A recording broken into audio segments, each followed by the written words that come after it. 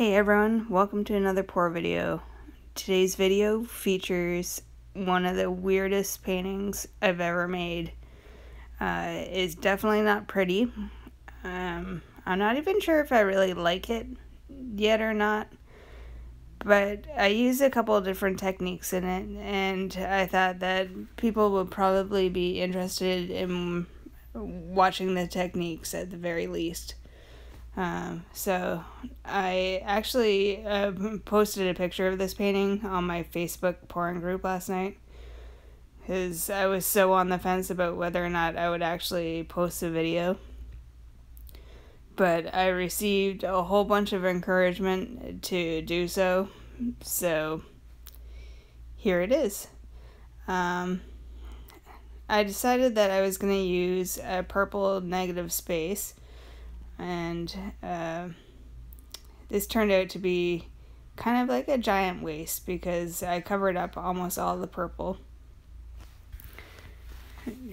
Which, in retrospect, I wish I had just used way less paint because uh, that purple is so pretty.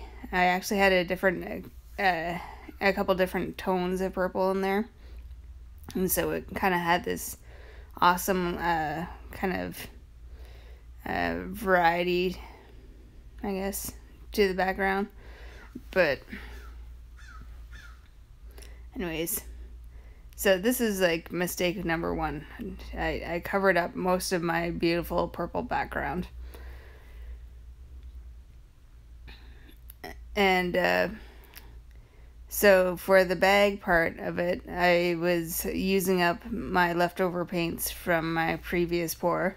Um, I just put a, a couple drops in silicone of silicone in there, and uh, I think that mistake number two was again I had problems um, opening up my bag on the bottom. I, I keep on trying different ways of uh, temporarily sealing the bag while I'm uh, throwing the paint in there. And this time around, I had a really difficult time uh, taking off the elastic that was sealing it. And I think that might have contributed to all my colors coming out of my piping bag uh, to being like kind of muddy and squished together. I've really got to get one of those IKEA clips that people were talking about in my comments.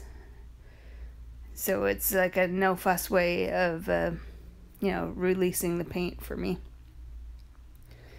So at this point, I was, uh, well, wasting paint there. I didn't know what to do. I wanted to see if there was like a, more colors at, at the back of the bag, but there wasn't. I cut out a big section because there's a lot of humming and hawing. And I didn't like like the majority of the stuff that came out of the piping bag. So I decided to do a pour cup and do the swirl technique again. And I was feeling a little adventurous, and I decided that I was going to really travel along while uh, doing the swirl. So I made an intestine, or salami, or something kind of weird and it looks way different than the rest of the painting. And so I decided that I needed to put in an accompanying um, swirly intestine thing beside it. This is like a pretty deep down uh, the rabbit hole of not knowing when to stop messing with a painting. You notice that I cut out big portions of the video there.